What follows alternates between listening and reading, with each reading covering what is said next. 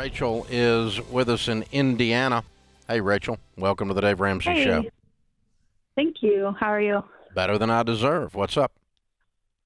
So, I was hoping to get your advice on something. So, I took financial peace about a year ago, um, and I tried to get my husband to go, but you know he wouldn't go. So he doesn't really understand uh, where I'm coming from when I'm trying to take the appropriate steps to, you know, complete all the baby steps.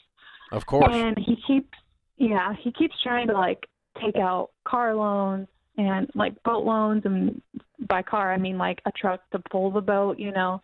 And I'm like, we're on completely different pages, and um, we do have um, student loans, so I'm just trying to like take the appropriate steps, but I don't really know what approach to take.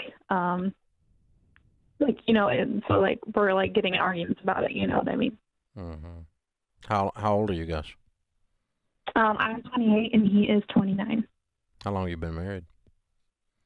going on 10 years now. Mm. Okay. Um. Well, this is why we generally recommend that you not go to Financial Peace University unless your spouse will go with you, because it causes more Oh, okay. it causes more problems, not less.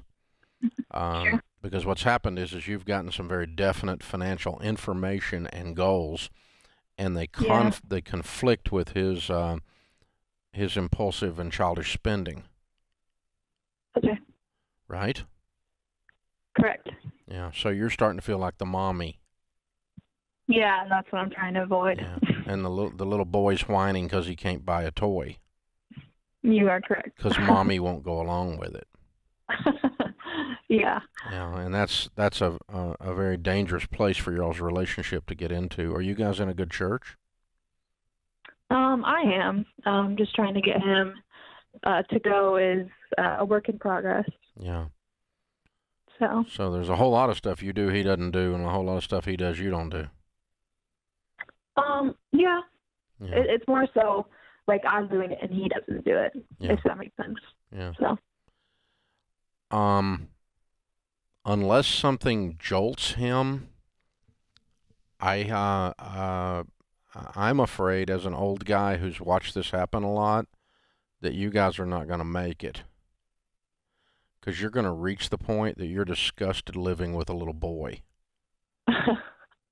You're not yet. You still kind of think it's cute, and you're still romantically in love, and that's wonderful, and I'm glad you are. But you're going to reach the point of frustration that you're tired of raising him if something Yeah. doesn't happen. This is a real dangerous place for y'all. And I'm not trying to be mean uh, to him, and I'm not trying to just be smart aleck or something like that. Um, I, I suspect if we if the patterns continue, that if you were to go to a marriage counselor, he would not go yeah. because he doesn't think there's any problems.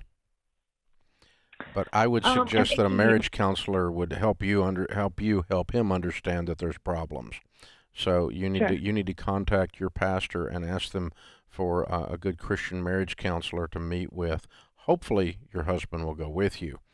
Um, but there's a lot of things going on in your all's life that is that are not trending the right way. Let me tell you what I'm talking about, and I'll back up three steps, okay? Because I just threw some cold water on you, and I don't want to I don't want to leave you there.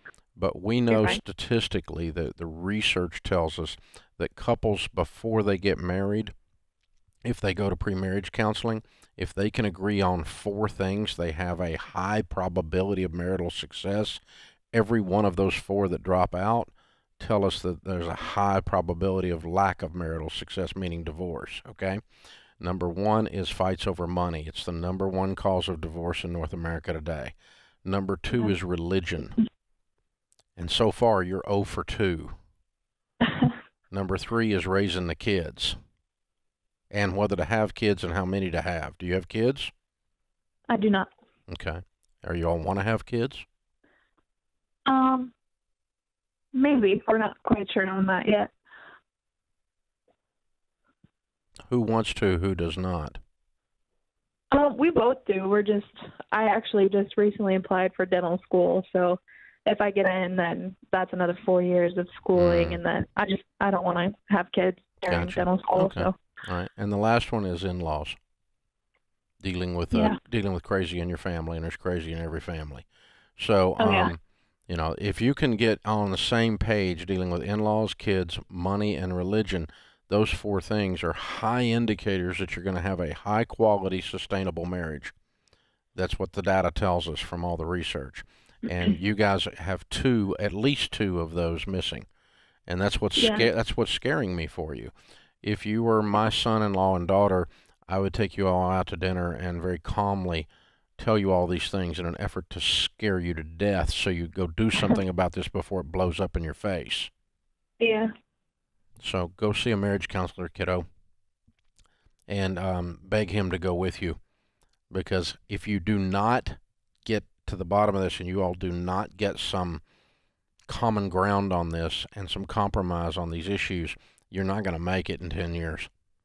It'd be just a minor, I mean, unless one of you is just dysfunctional and crazy and codependent, and then you can stay together, but that's not really staying together. That's someone's spirit left their body and left their body in the marriage.